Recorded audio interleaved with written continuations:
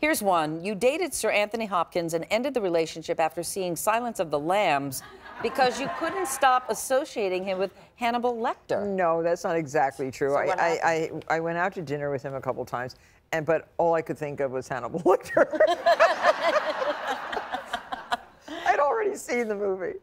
And then when he eats the brains, that, that I couldn't. Yeah, yeah. Ray Liotta's brains, remember that? Oh, It of cuts off the top of his head and smooth And the Chianti and the beans. Yeah. that I did you did you make out with him? Did you?